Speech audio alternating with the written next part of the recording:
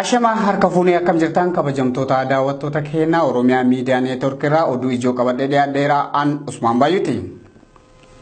Manni murtii waliigalaa federaalaa dhaddacha arfaffan gaafa onkololeessa soddoma barkoom lamaaf kudha torbatti mirgi wabii dura taa'aa ittaanaa paartii koongireesii federaalistii Oromoo obbo Baqqalaa Garbaatiif eeggamuun dhimmi isaanii ala taa'anii akka hordofaniif murteesseetiin ture. Haa ta'u garuu dhaddachi jibbaataa mana murtichaa dogoggorri bu'uura seeraa jira jechuun mirga wabii kenneetiin ture akka deebiitiin uggureedha kan gabaafame.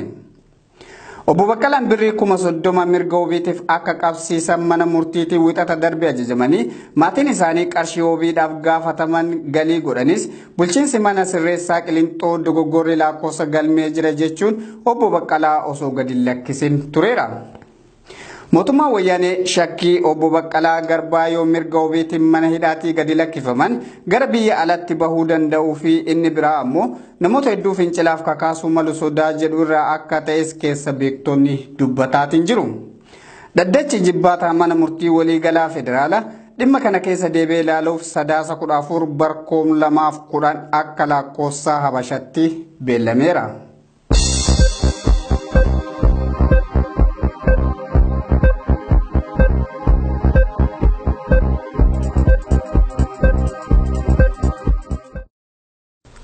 Gumaachi lammiilee keenya naannoo Sumaalee keessaa buqqaan deeggaruuf hawaasaan taasifamaatiin jiru amma saala gaariin cimee itti fufaa jiraachuun himame. Godina Arsii Lixaa aanaa qoreetti barattoonni mana barumsa qoree sadarkaa lammaffaa fi qophaa'ina lammiilee Oromoo shira mootummaa abbaa Itoophiyaa fi abdiilleen xaxamaniin qe'ee fi qabeenya isaaniirraa buqqaaniif deeggarsi maallaqaa taasifamuu gabaafame. Haaluma wal fakkaatuun godina Baalee aanaa Dalloomannaattis deeggarsi lammiileef godhamaatiin jiru itti fufeera. Jiraattonni aanaa Dalloomannaa ilmaan Oromoo qe'ee fi qabeenya isaanii irraa buqqaanii fi kanneen naannawa barraaq jiran bira deemanii jajjabeessuuf garasitti imalaa akka jiran maddeen keenya gabaasaniiru.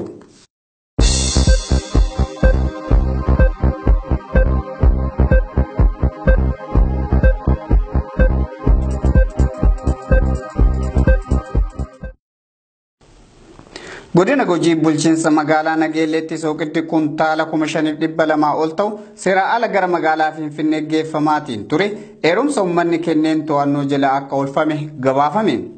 Sooqiddi kun konkolaattota fe'umsaa wal harkisu gurguddaa kudha sadiin fe'ameeti osoo imalaatiin jiruudha kan to'annoo jala oole. Qaamoleen hawaasaa hunduu qabeenya Oromiyaa keessaa saamamee karaa seera alaatiin baafamu mara dura dhaabachuu akka qaban qeerroon naannichaa dhaamaniiru. Haaluma wal fakkaatuun godina Jimmaa aanaa Sokorruttis bunni seeraan ala fe'amee makiina manaatiin dabarfamaatiin ture kuntaalli 25 qabamee to'annaa jala akka oolee maddeen keenya gabaasaniiru.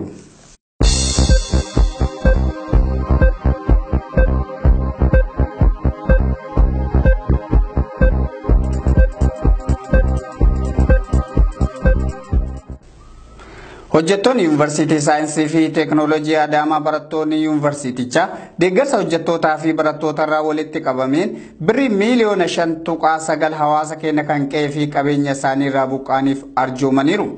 Akka bulchiinsa magaalaa Adaamaattis deeggarsi taasifamaatiin jiru gara birrii miiliyoona soddomii shanii ga'uun himameera.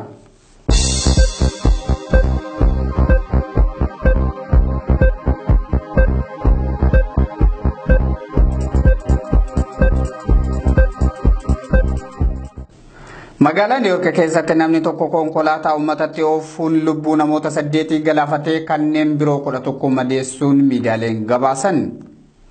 Namni kun daandii namoonni biskileettaa irratti oofan humnaan konkolaataa itti ari'ee balaa kana qaqqabsiisee akka turellee gabaafameera.